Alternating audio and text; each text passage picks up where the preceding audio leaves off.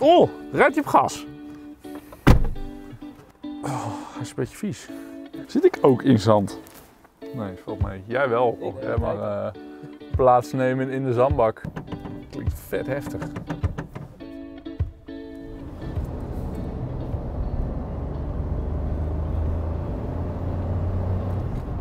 We zitten vandaag in een uh, Dacia of een Dacia Sandero. Uh, met 281.000 kilometer op de teller. Dat is natuurlijk niet zo heel erg veel. En toch is er met dit exemplaar al het nodige mis. Los van het feit dat er een zandbak en een hond aanwezig zijn, uh, zijn de dempers goed versleten. Is de koppeling aan zijn laatste eind, die grijpt pas heel laat aan. Uh, maar wat vooral opvalt is de turbo die niet goed functioneert. Hij heeft een enorm uh, turbogat. Ik weet niet precies wat voor motortje het is, maar het, het zal een, iets van een 1,2 3 cilinder turbo zijn. En pas boven de 3000 toeren begint die turbo wat te doen. En dat is waar je normaal met rustig rijden ongeveer schakelt. Dus als je gas geeft, gebeurt er helemaal niks. En dan ineens gebeurt er iets, maar dat duurt heel lang. Dus ik denk dat er iets met de uh, wastegate, de turbodrukregelklep, uh, niet, uh, niet helemaal uh, in orde is. Maar er brandt geen storingslampje, wat ik dan wel weer zou verwachten met dat soort klachten. Dus we gaan hem zo toch even uitlezen, kijken of er op de achtergrond misschien een storing aanwezig is. We horen ook een heel raar geluid bij het veranderen van richting. Rammelt er of klapt er onder de passagiersstoel iets. We gaan zo even kijken of dat nou in of onder de auto... Daar was die. In of onder de auto is. Als het in de auto is en er ligt iets los, prima. Als het onder de auto is, dan vind ik het toch wel wat uh, zorgwekkend. Uh, we gaan het zien. Nou, dat was een makkelijke diagnose.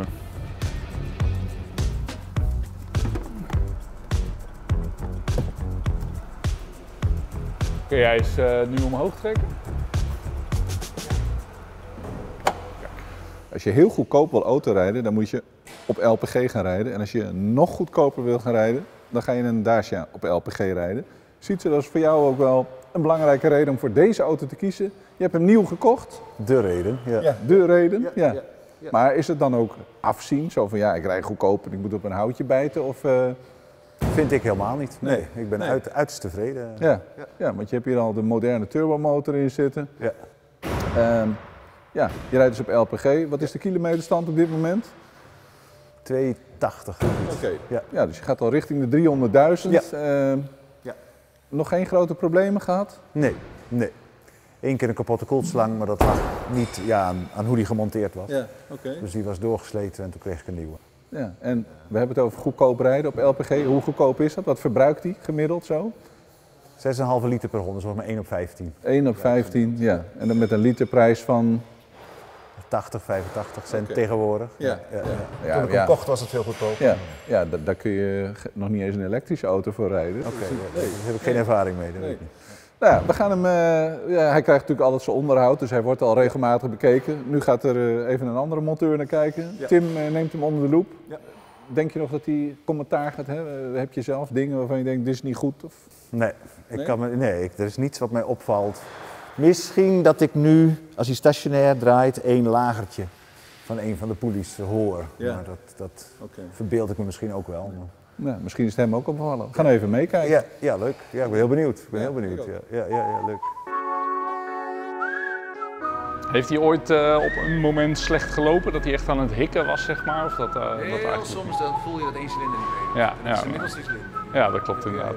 Als je gas geeft, dan duurt het een seconde of 4, 5 en dan pas begint hij te gaan. Dat is nog nooit anders uh, maar zo hoort het niet. Uh, vanaf het begin? Ja. Ik ken wat je zegt.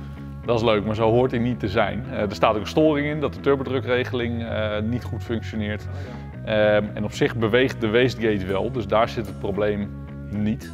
of in ieder geval niet in de actuator daarvan. Dus het kan nog de turbo zelf zijn of ergens anders een, een, sensor of een drukregeling die niet goed functioneert.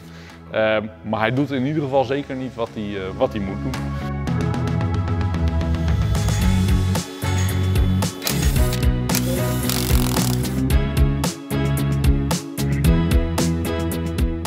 Wist jij dat er op een Dacia Sandero ja? aandrijfmassen van een Hyundai zitten? Niet. Nou, aan de onderkant van de Dacia zijn maar een paar kleine dingetjes die opvallen. Uh, een heel klein beetje olie, maar dat lijkt meer wat oud zeer van bij een beurt geweest te zijn dan dat er daadwerkelijk iets aan het lekken is. Uh, ik zie dat er mooi kopervet aan uh, de boutjes van de bodemplaat gesmeerd is, waardoor die nog netjes los gingen. Dus daar is over nagedacht bij de laatste onderhoudsbeurt, dat is fijn.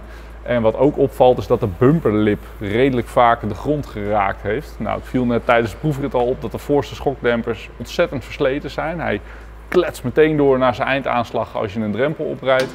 En ook als ik hier een rukje aan de onderkant geef, dan kost het eigenlijk geen enkele moeite om de auto in te veren. Uh, waardoor hij dus heel makkelijk door kan slaan. Aan de achterkant is dat minder het geval. Uh, en sowieso richting de achterkant van de auto is er niet zoveel zorgwekkends te zien of te melden. Um, en ook de rubbers zien er prima uit. Geen gebroken veren, verrotte uitlaat of iets dergelijks. Gewoon allemaal uh, heel simpel qua constructie, maar daardoor nog helemaal in orde. Nou, bij de wielophanging aan de voorkant vinden we ook bewijzen dat de schokdempers niet meer goed hun werk doen. Namelijk een bumpstop, dus de eindaanslag waar die tegenaan komt aan het einde van zijn veerweg. Die is helemaal versleten en begint uit elkaar te vallen en te scheuren.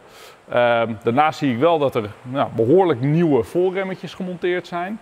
Ehm, maar ook een winterband uit 2014. Dus dat is wel een, uh, een stevig oud uh, exemplaar ondertussen.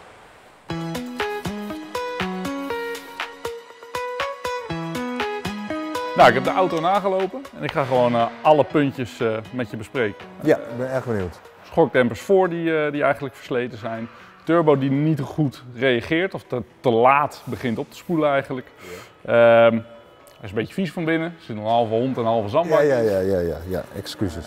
De koppeling die grijpt laat aan, maar slipt nog niet door. Dus die ja, gaat richting het einde van zijn levensduur. Ja. Um, er zit wat gerammel, verhoorde gerammel bij de bijrijderstoel, maar dat bleek een blik verf te zijn wat onder oh. um, ja. De motorkap die klemt een beetje. Als je alleen aan het hendeltje trekt, dan krijg je hem niet open. Dan moet echt even iemand helpen aan de andere kant. De rem die piept iets aan de achterkant. Als je hem loslaat. Ja, precies. Uh, hij heeft storing op het gaspedaal, op de boostdrukregeling en op overslag van cilinder 2. Regelklepje onder de motorkap uh, hangt los. Uh, Bumpstops zijn versleten en de banden zijn oud. Dat is het eigenlijk. Ja.